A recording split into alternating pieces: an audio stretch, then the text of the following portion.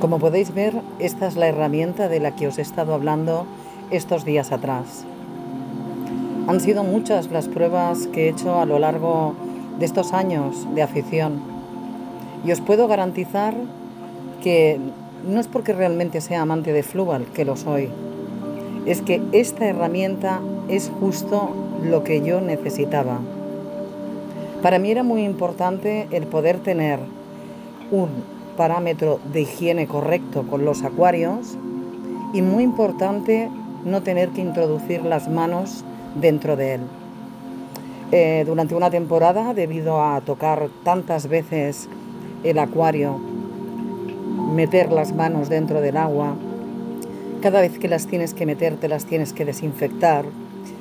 Cuando sacas las manos del acuario también te las tienes que desinfectar, pues tuve problemas en la piel. Y para mí era un auténtico suplicio cada vez que tenía que introducir las manos dentro del acuario. Es por eso que agradezco a Fluval esta herramienta.